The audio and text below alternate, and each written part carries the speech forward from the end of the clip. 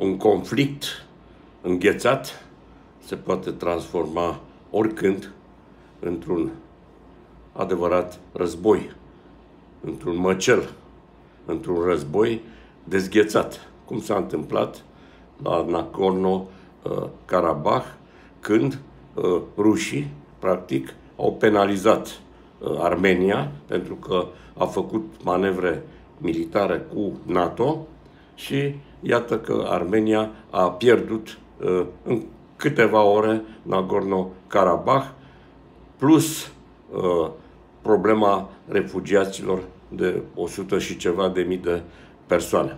La fel se poate întâmpla oricând în Kosovo.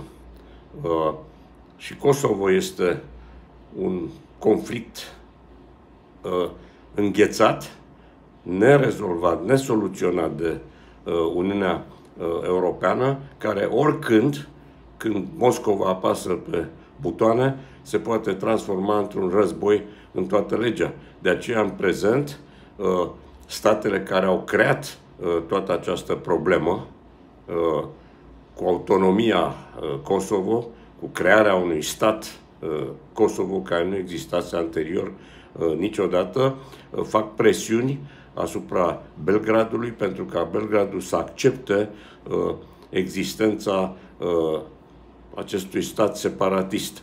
Kosovo, ceea ce nu cred că se va întâmpla. Dar e interesant că se fac presiuni asupra uh, Belgradului, dar, în schimb, uh, nu se fac uh, presiuni asupra Bucureștiului, care nici el nu recunoaște uh, provincia Kosovo.